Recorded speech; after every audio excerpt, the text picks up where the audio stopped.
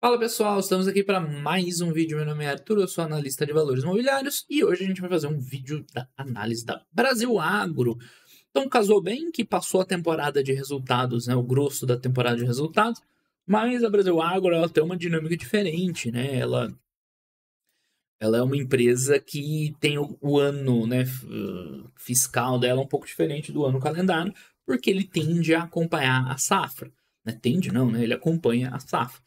Então, agora acabou o ano para a Brasil Agro. Então, a gente acabou de ver o último trimestre e o fechamento do ano. Tá? Além disso, a Brasil Agro é uma empresa meio que não faz muito sentido você ficar vendo o resultado trimestral. Então, eu percebo que o pessoal entende muito mal a Brasil Agro. Né? Algumas vezes, na época eu interagia mais com a galera, hoje eu não quero interação com ninguém. É, saía resultado no primeiro, segundo tri da Brasil Agro, a galera, nossa, veio ruim, veio prejuízo não acontece nada. Como é que funciona né, a dinâmica dela? Ela tem essa. Bom, nem vou explicar o básico, porque já tem vários vídeos aí da Brasil Agro, é uma empresa híbrida, ganha dinheiro tanto na valorização, no né, desenvolvimento, valorização das terras, quanto na produção, isso é fundamental saber. Tá? Mas a parte aí que entra resultado no balanço, fora as vendas de fazendas, que são irregulares, a empresa vende quando, quando vem uma oportunidade, é da produção de grãos, é principalmente soja e milho, agora tem cana-de-açúcar, né? é, tem outras culturas também, mas principalmente soja, milho e cana, tá? que tem um ciclo de produção, né? a, a safra. Então, você vai lá, no, no começo da safra, você planta, não está vendendo nada, no máximo você está vendendo alguma coisa que sobrou do ano anterior. Aí depois está desenvolvendo né, a lavoura, já está colhendo, mas você ainda não está vendendo nada, então não entra resultado. Resultado vai entrar no final, a hora que você colheu, e vendeu, tá certo? Então, olhar trimestralmente a Brasil Agro não faz sentido nenhum. Né? Porque às vezes entra uma venda de fazenda ali no meio, aí vem um resultado forte, aí depois não entra mais. Então, tipo, a Brasil Agro não é uma empresa para você acompanhar por aqui. Né? Quem acompanha por aqui vai errar, não vai entender bem a empresa, né? não vai saber acompanhar e aproveitar. Olha só o retorno que a Brasil Agro deu nos últimos anos, e enfim, né? ainda poderia ter dado mais, falar a verdade. Né? É uma empresa muito boa, excelente. Só que o pessoal tem muita dificuldade de acompanhar. Porque é uma empresa que sai dos padrões normais ali, né, do mercado acionário, de você ficar vendo ali os resultados trimestrais, DRE, é, Outlook. Não é assim que funciona o Brasil Agro. Você tem que entender a Brasil Agro. Enfim, a gente já tem vários vídeos dedicados à empresa hoje e vamos falar mais do resultado do ano agora, né? 23 barra 24, tá certo? Bom, mais alguma coisa para comentar? A gente falou o basicão, é isso aí, né? Vamos já dar uma olhada nos números. Então tem bastante vídeo da Brasil Agro, faz tempo que eu acompanho ela, tá? Gosto da empresa, faz bastante tempo. E vamos dar uma olhada então nos resultados desse ano. Lembrando, sim, ela está no quarto trimestre, por isso que ela divulga fora né, do, do, ritmo das outras, porque isso aqui está alinhado com a safra de grãos, né? Porque agora vai recomeçar plantio de soja, né, milho, depois milho de safrinha. A cana de açúcar que foge um pouquinho disso, né? Porque o ciclo da cana é um pouquinho diferente, eles vão colher mais agora no final do ano, né? Então a cana ajuda a dar uma, né, a, a, a tirar essa, essa, essa concentração de resultados dela ali mais para o meio do ano, tá certo? Então, destaques do ano, né? Foi um ano bom de resultados, tá? Não foi o melhor ano possível para a cultura, então teve alguns fatores climáticos que impactaram né? tanto a produtividade quanto até o plantio. Então, por exemplo, o preço do milho ficou bem fraco em algum momento. Deixa eu meter aqui depois para a gente comentar mais detalhes. Uh, e aí eles simplesmente decidiram não plantar, tá? Eles acharam que não valia a pena. Né? A margem ia ficar muito apertada, então eles cortaram parte aí da, né, da, da, da, da, produção, porque dados os preços que, que se mostravam, não, meio que não valia muito a pena, tá?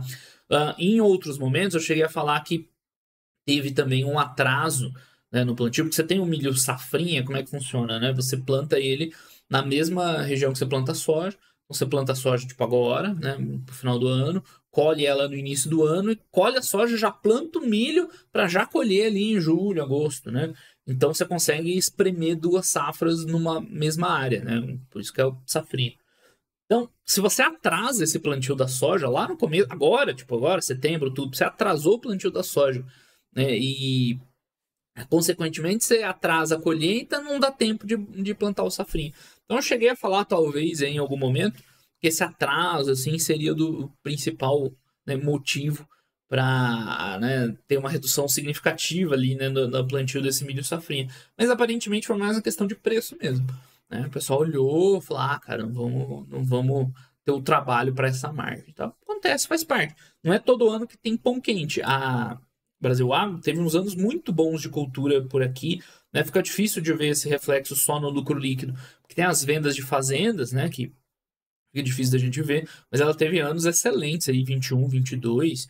Não é todo ano vai ser excelente, só foi ok, não foi dos melhores. Mas também teve um resultado bom, né? Empresa com uma boa receita, com um lucro, sendo que parte dele veio aqui, ó, imobiliário, venda de uma fazenda, fazenda grande deles, a Chaparral, que já tá faz tempo, né, desde 2007, que ela, né, bom, tem mais informações aqui mais para frente, a TIR e tudo mais, mas parte do resultado veio de venda de fazendas, o que é normal, é assim que a Brasil Agro trabalha, tá? Então, produção, milhões de toneladas. Eles têm investido assim, né, em áreas irrigadas. Por que áreas irrigadas? Porque aí você consegue plantar coisas diferentes. Né, culturas que têm um valor agregado maior e tudo mais. Né, você foge um pouco aí desse ciclo aí das, dos grandes produtos comoditizados, né, soja, milho e tudo mais. Então é interessante isso aqui também, investindo em modernização e tudo mais, certo? Então, o destaque do ano foi venda de uma área dessa fazenda, né, Chaparral, né, 30%, acho que é uma fazenda grande deles, então é relevante, né, 300 milhões de reais de venda. Tá? O recebimento geralmente assim, é atrelado à, à saca de soja e tudo mais. E veio com uma TIR de 15%, com uma TIR boa, né? taxa de retorno. Lembrando que isso aqui é desde 2007, né? então dá um retorno nominal bem alto. Uh, mas a empresa já conseguiu TIRs maiores, né?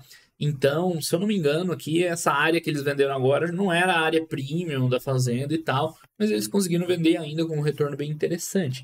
Lembrando que isso aqui, né, a TIR, a taxa interna de retorno, ela, ela depende muito do prazo né, que você está trabalhando. Então, como é que é o, o, o, sweet spot do desenvolvimento da Brasil Agro? Você compra terra, você desenvolve, né, torna ela o mais produtivo possível e tenta vender por preços bons quando o momento é favorável. Se você consegue fazer isso num período curto de tempo, o retorno é muito grande né? Porque ele é, né, ele depende desse tempo. Se você demora, né, mais um período grande para vender e vai vender no mesmo preço que você ia vender aqui, você prejudicou o teu retorno, porque o teu capital ficou lá sem gerar, né, muito muita riqueza nova, né? O conceito ali da taxa de retorno. Então, a TIR da Chaparral é mais baixa porque é uma fazenda mais antiga que eles têm no portfólio, tá? Mas o retorno, assim, bruto em cima do investimento nominal, né, foi muito bom.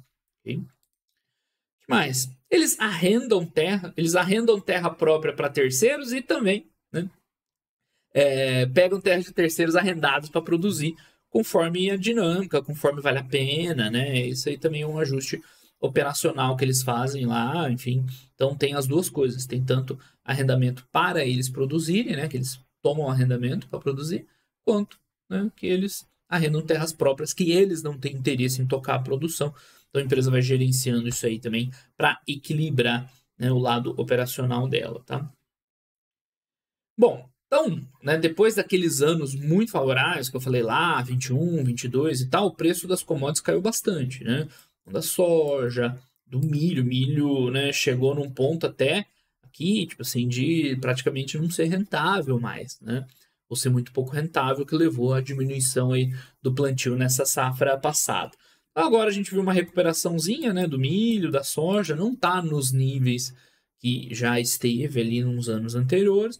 Então a expectativa para a próxima safra é, é boa, né? não é espetacular, mas é boa, principalmente num volume maior deles voltarem a plantar né, nessas áreas aí de segunda safra, num ganho de rentabilidade natural né, do desenvolvimento das terras e também em casos específicos que a produção da safra anterior foi impactada pela seca, principalmente, né? O problema maior foi seca, principalmente no Paraguai, eles comentaram no call de resultados, tá? Então, por mais que não seja tão animador aqui do ponto de vista de custo, tem que lembrar que isso aqui era muito alto, tá, pessoal? Então, mesmo estando abaixo, ainda é interessante. Tá? Os custos também reduziram, porque nessa época, lembra? Estava estourando o custo de produção era guerra na Ucrânia fazendo custo de fertilizante nas alturas, custo de semente, outros insumos também estava alto. Então, o que interessa aqui é o spread, né, o quanto você vai receber lá pela venda das culturas, menos o custo delas. Então o spread não está tão ruim assim, ok? Então a próxima safra promete aí, né, um resultado bom, não espetacular, mas um resultado bom. Aí tem as outras culturas, cana é importante para eles também, né? Toda a dinâmica de cana, de etanol. A gente está vivendo um momento bem complexo das queimadas e tal, então até foi perguntado no call né, de resultados para eles, né? Qual seria o impacto na empresa e tudo mais, né? Eles falaram que a princípio né, eles estão eu nem lembro direito aqui, né? Estão trabalhando para mitigar ritmo, é, os riscos de incêndio, enfim, né? Eles já estão com a parte da cana vendida e tal. Então, vou dar a impressão que não vai ter nenhum impacto muito grande, né? Veremos. Eles não falaram nada de incêndio em área própria, né? Propriamente dito. Então, aparentemente, nada muito crítico. Então, vamos seguir aqui olhando a apresentação. A gente tem né, uma visão da produção, que eu já dei uma, né, uma, uma comentada aí em linhas gerais. Então, a produção do ano ah, anterior ficou um pouco abaixo né, do que do que eles estavam esperando, né, da estimativa para o ano. Então, você tem sempre no início da safra uma estimativa e depois o que eles realizaram. Né? Então, produção aqui é total, né? acho que é total. Né? Um pouco abaixo, era 240 toneladas, né? foi 200. Lembrando que isso aqui é uma medida né, de volume, de massa né, do produto, não necessariamente com o preço, com o valor de cada produto, né? Isso aqui é bem grosseiro, assim. Né? E com uma área também levemente menor do que eles tinham pensado, por aquilo que eu falei, né? Chegou uma hora que o que eles tinham ali de margem esperada compensou plantar, né? Falando, ah, deixa plantar aí para operar espremido desse jeito, né? Deixa para próxima, tá? Então, soja teve ali, né, aqui só em... Você vê como a produção em tonelada, né, ela é enganosa. Soja é o principal produto deles. Em tonelagem, né, a diferença é muito grande aqui. Né? Mas, enfim, seguiu mais ou menos o mesmo comportamento, embora a área até aumentou, tá? Então... Não, peraí, desculpa. Tava lendo errado a apresentação. Isso aqui é soja, isso aqui é algodão. Tá, tudo bem. Agora faz mais sentido. Desculpa aí pelo engano, né? Uh, mas enfim, soja, o principal produto, caiu, né? O algodão até aumentou um pouquinho. Então a produção de grãos ficou 30% abaixo do estimado. Não é pouco, né? O que veio abaixo. Mas foi principalmente redução da área plantada, que eu já expliquei, e eventos climáticos também. Né? Além do manejo da lavoura, que é aquela questão de atrasar o plantio e tudo mais. Então, o que aconteceu ano passado, se eu me lembro bem, tá, pessoal, foi um atraso no momento das chuvas, né? Então, choveu pouco aqui em outubro, novembro, dezembro, que é né, quando precisa para a cultura desenvolver. Então, né, por isso que foi é, né, deu uma atrasada. E no Paraguai, esse, esse atraso ele se prolongou. Dá para ver aí na câmera, dá, né? Então, a, o volume de chuva se prolongou ali em janeiro, fevereiro, março, vai chover lá em abril. E aí comprometeu mais a produção, né? principalmente no Paraguai. Né? No, na Bahia, no Mato Grosso, foi mais um atraso né, da pluviosidade. Então atrasou, né, comprometeu, mas não atrapalhou tanto. Agora no Paraguai foi mais sério. Né? Então, enfim, falando da safra passada ainda, não da safra futura, né, cana-de-açúcar né, é, foi em linha mais ou menos com o que eles esperavam, nada demais. E pecuária, pecuária já é uma cultura bem secundária para eles, não é uma cultura, né? Mas é bem uma atividade bem secundária para eles. Ela é muito mais importante no desenvolvimento da terra em si do que né, economicamente. Então também não faz tanta diferença.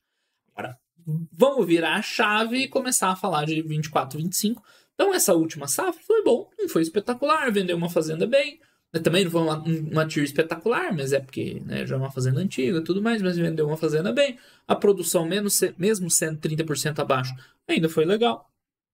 E é isso, passou a régua 23, 24. Agora a gente começa a olhar 24, 25, porque um dos pontos mais importantes é ver a estimativa para a próxima safra que eles divulgam agora. Eu até cheguei a falar num dos vídeos de fato relevante lá do Fundamentei, né, quando eles divulgaram aqui a estimativa. Então aqui você tem uma previsão boa, porque a empresa já tem estimativa de quanto eles vão plantar, quanto eles esperam colher, já tem mais ou menos uma visão do spread entre o preço de venda das culturas, o custo de operação.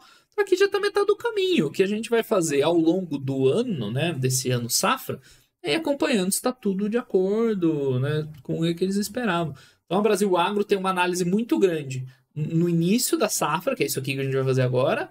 No meio, praticamente nada acontece, só vê a evolução. e no final para ver se atendeu o que era o início. Tá? Então, é uma expectativa de área plantada crescendo um pouquinho, né? 3%. Essa seta aqui está bem inclinada, né? Parece com um crescimento maior, mas é mais ou menos uma área plantada igual à anterior. Lembrando que aqui ainda tem um balanço das áreas arrendadas, vendeu fazenda. Né? O pessoal pergunta isso também. Pô, tá sempre vendendo fazenda, como é que a área plantada aumenta? Né? Tem outras coisas, tem as áreas arrendadas, tem a segunda safra, né? tem área que está sendo desenvolvida. Né? Por isso que eles conseguem aumentar a área plantada mesmo vendendo mais fazenda que comprando recentemente. Uh, enfim, aqui tem as culturas, né? Então, soja disparado principal, 40%. Milho é importante também, tá? E, enfim, é, esse ano também eles estão com a previsão bem baixa para milho, também não estão tão otimistas, né? Que dá para plantar mais milho. Mas a notícia boa é que cana-de-açúcar cada vez mais, né? Crescendo e representando, além do outros, né? Que entra naquelas áreas irrigadas lá, que eles conseguem plantar outras culturas aí que tem um valor agregado maior. Então, isso aí é bem interessante, tá? É, aqui você tem um breakdown entre a área própria e a área arrendada. Né? Então, aquilo que eu falei, 7% eles arrendam para terceiros plantar, e para eles não faz sentido. Ah, como assim? Não faz sentido plantar na terra própria.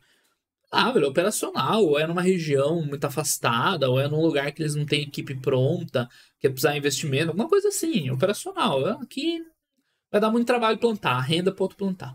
Mas o grosso é o contrário, né? Eles arrendando terras por fatores parecidos. Eles já têm uma operação ali na área, então plantar ali do lado na terra do terceiro é, é, vantajoso, tem uma economia de custo, tem uma sinergia, uma coisa do tipo, além de aumentar a produção propriamente dita, tá? Então eles fazem as duas coisas. Esse é um perfil muito diferente da SLC agrícola, por exemplo, que é, não é focado em desenvolvimento imobiliário, o negócio deles é plantar e colher. Então eles têm uma outra visão, tem que entender isso, são empresas bem diferentes. Apesar né, de parecerem iguais, mas elas são bem diferentes, tá? Que mais que a gente tem? Então, o preço dos insumos, né? Deu uma aliviada boa lá daquele auge também, tá? Então, enfim, né? No geral aqui, né? Uns caíram menos, outros caíram mais. Então, isso aqui é fertilizante, eu acho. Eu acho que é semente, é fertilizante. Em defensivo, os três principais insumos, né? Custo de semente, de defensivo agrícola, que é, é não sei explicar mais, e adubo, né? Adubação. Então, no geral, né, uma redução de preços, em geral, na estrutura de custos. Eles já compraram 80% do que eles precisam de insumos, tá? Então, nitrogenado, cloreto de potássio, fosfatato, isso aqui é tudo adubo, tá? É tipo de adubos. NPK é a mesma coisa, é nitrogênio, fósforo e potássio, tá? Então, isso aqui eles já compraram boa parte, defensivos também boa parte, 80% dos insumos estão comprados, né? Então já está travado, né, basicamente, esse custo, né, custo mais baixo, que a gente tinha comentado. É, aqui em relação, o preço dos insumos em relação ao preço do produto final, né, da, da, da commodity.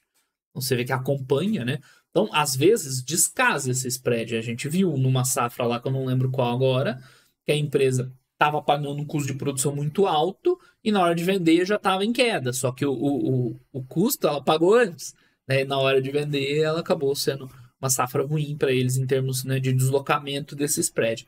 Né? que mais que tem?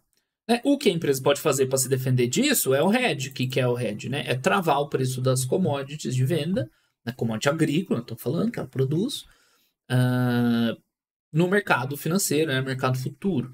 Então eles fazem isso também, mas claro, né? Você tem ali uma, uma certa limitação, porque né? Por exemplo, a próxima safra, 24, 25, por que está pouco travado?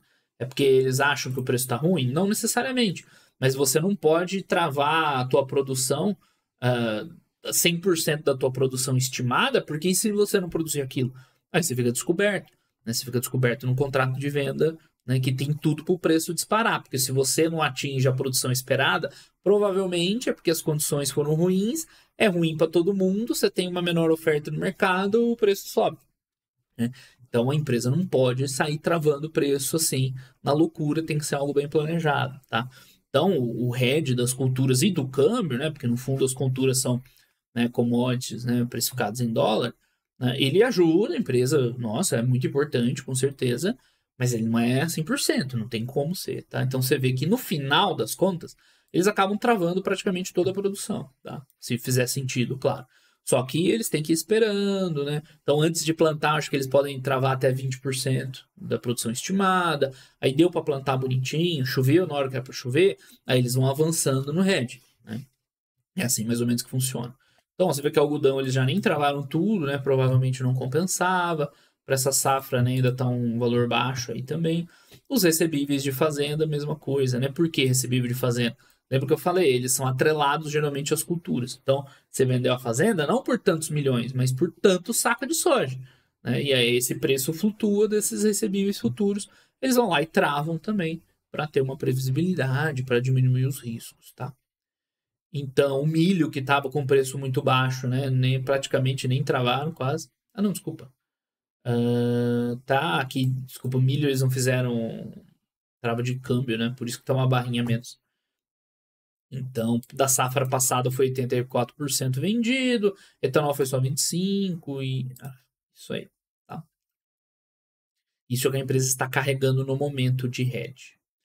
De novo, pessoal, é importante não misturar isso aqui com especulação financeira. Eles não estão especulando no câmbio, não estão especulando no preço, né? Estão travando a produção, bem diferente.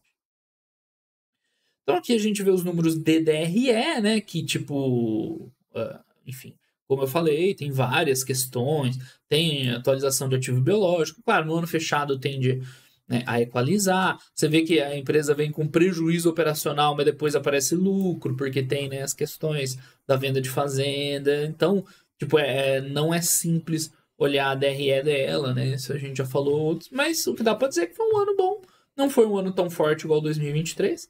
Tá, não dá para comparar assim, ó, par e par lucro caiu 16%, porque você tem vendas de fazenda né, em diferentes volumes, diferentes preços, tá? Mas no geral, né, você vê aqui num EBITDA ajustado, é uma tentativa de ajustar né, para essas variações né, um valor mais baixo. Mas aqui acho que ainda nem conta né, essa equalização de venda de fazenda. Teria que pegar o EBITDA ajustado operacional, né, uma coisa assim.